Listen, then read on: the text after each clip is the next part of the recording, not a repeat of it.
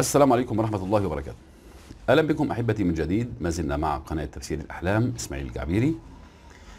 آه الحمد لله والصلاة والسلام على رسول الله صلى الله عليه وسلم ومن والاه. العنوان آيات قرآنية ذكرت فيها بعض الرؤى. طبعا أنا دائما أقول أن تفسير الأحلام علم يدرس وليس موهبة. فضلا عن أن هذا علم شرعي. ولذلك أنا أرجح أن الذي يتعرض لهذا الفن طبعا أي علم جائز أن أطلق عليه فن. فلا بد أن اللي يتعرض لهذا الفن لازم يكون عنده خلفية شرعية. وأنا بفضل الله الحمد لله طبعا يعني أنا لا أزكي نفسي ولكن آه، الشيء بالشيء يذكر. أنا خريج كلية الشريعة والقانون قسم شريعة إسلامية وأعمل مدرس شرعي. للمرحلة الثانوية اللي هي قبل الجامعة.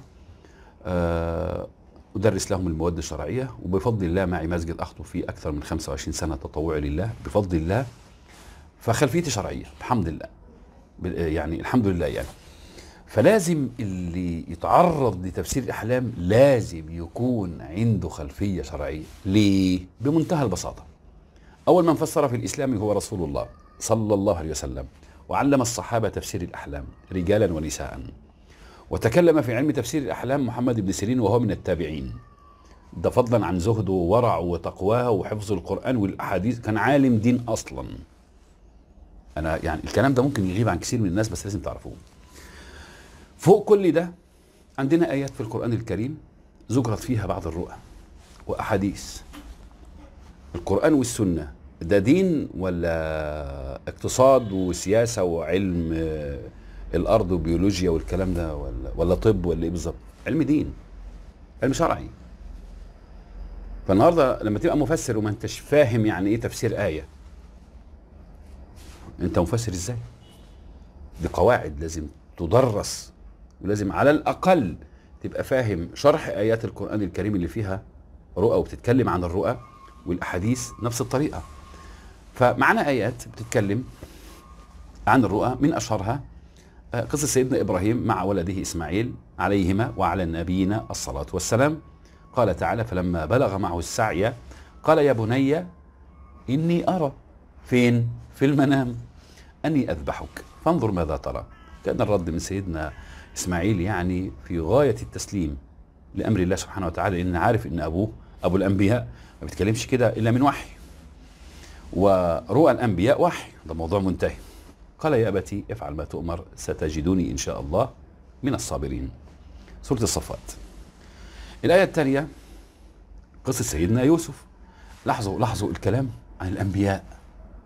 ها؟ الأنبياء ده اللي بيأكد الكلام إن ده علم شرعي مش ثقافة عامة. وزي ما بنسمع من الناس يقول لك آه آه طيب لما تبقى موجودة في, في لقاء تلفزيون ولا حاجة يا أستاذة انت آه بتفسري احلام إزاي يعني؟ والله موهبة. وهي ما بتعرفش توضى موهبة مين؟ موهبة إيه دي من من غير علم من غير دراسة؟ ينفع يا جماعة؟ أنا أنا أنا كإسماعيل مدرس شرعي لا علاقة لي بالطب. ينفع آخد السماعة من الدكتور وأحطها على وداني وأقول له ارجع كده؟ أنا اللي هكشف على المريض. أنا عندي موهبة في الطب. موهبة مين دي؟ إن شاء الله من غير علم. لازم نفهم الكلام ده. قصة سيدنا إبراهيم وإسماعيل ذكرنا الآية. قصة سيدنا يوسف مع أبيه يعقوب الاثنين أنبياء زي دول برضو الاثنين أنبياء. لما قال في بداية سورة يوسف إذ قال لأبيه يا أبت إني رأيت أحد عشر كوكبا والشمس والقمر رأيتهم لي ساجدين. جاء الرد من يعقوب عليه السلام يا بني لا تقصص رؤياك على إخوتك فيكيدوا لك كيدا. إن شيطان الإنسان عدو مبين إلى آخر الآيات. وكذلك يجتبيك ربك يعلمك من تأويل الأحاديث إلى آخر الآيات. قصة مشهورة ومعروفة. قصة سيدنا يوسف عليه السلام في السجن ودخل معه السجن فتيان. اثنين عرضوا رؤاهم على سيدنا يوسف. قال أحدهما إني أراني أعصر خمرا. وقال الآخر إني أراني أحمل فوق رأسي خبزا تأكل الطير منه. نبئنا بتأويله. إنا نراك من المحسنين. قال سيدنا يوسف يا صاحبي السجن أما أحدكما فيسقي ربه خمرا وأما الآخر فيصلب فتأكل الطير من رأسه. قضي الأمر الذي فيه تستفتيان. ماشي؟ فإحنا هنا ذكرنا بعض الآيات وطبعا في آية برضو خاصة بسيدنا النبي محمد صلى الله عليه وسلم. أنا ذكرت لك سيدنا إبراهيم وابن إسماعيل. سيدنا آه، آه، آه، يوسف ومع أبيه. والآية الأخيرة هذكرها لك لسيدنا النبي محمد صلى الله عليه وسلم في سورة الأنفال. إذ يريكهم الله في منامك قليلا ولو أراكهم كثيرا لفشلتم ولتنازعتم في الأمر ولكن الله سلم إنه عليم بذات الصدور. يبقى سيدنا النبي محمد صلى الله عليه وسلم سيدنا إبراهيم وابن إسماعيل عليهما وعلى نبينا الصلاة والسلام وسيدنا يوسف وأبوه يعقوب عليه- عليه وعلى نبينا الصلاة والسلام. يبقى دلوقتي ذكرت لك آيات فيها قرآن كريم وتؤكد اللي أنا ذكرته لك إن تفسير الأحلام علمي شرعي يدرس. لا مانع لا مانع من تحصيل الموهبة أو الخبرة. خلي بالكم في فرق ما بين الموهبة والهبة. الهبة من الله سبحانه وتعالى لأنبيائه. دي منحة. ربنا سبحانه وتعالى بيعطيها للأنبياء.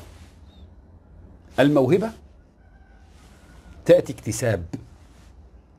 الخبرة. يعني أنا هص... يعني سوف أسقط الأمر علي. أنا من خلال 15 سنة تفسير أحلام. هل أول ما بدأت في تفسير الأحلام زي اليوم؟ خبرتي النهاردة. زي ما بدأت في تفسير الأحلام من 15 سنة؟ لا طبعا. إذا الموهبة اكتسابية. ولا تأتي إلا من خلال خبرة كبيرة في القراءة فضلا عن التخصص فضلا عن العلم الشرعي اللي أنا درسته. لأن أنا ذكرت في البداية إن اللي اتكلم في تفسير الأحلام أول من فسر في الإسلام رسول الله صلى الله عليه وسلم. وقبل كده آه، نبي الله سيدنا يوسف. وقبل كده سيدنا آه، إبراهيم. عليه وعلى نبينا الصلاة والسلام مع ابنه إسماعيل. فده علم شرعي فلا مانع لا مانع يا اخوانا لا مانع من اكتساب الموهبة. إنما موهبة بدون علم إحنا بنهرج. وأنا عارف إن الكلام ده بيزعل ناس كتير. يعني النهارده أي واحدة النهارده حتى وإن كانت مشهورة وبتفسر أحلام لو سمعت كلامي دلوقتي هتحس إن إن هي يعني إزاي هترد على الكلام ده؟ فللأسف الشديد معظم اللي بيفسروا اللي بعيد عن آه العلم الشرعي أنا بقول لكم اوعوا تسمعوا له لأنهم بيقعوا. ما هو أنا يعني إزاي أتكلم في علم زي علم شرعي وهو تفسير أحلام وأنا ما أعرفش أفسر آية؟ مشكلة فضلا عن قراءتها.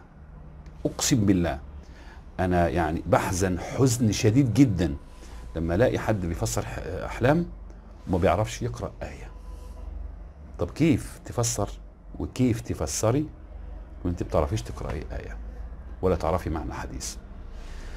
الموضوع طول بس مهم.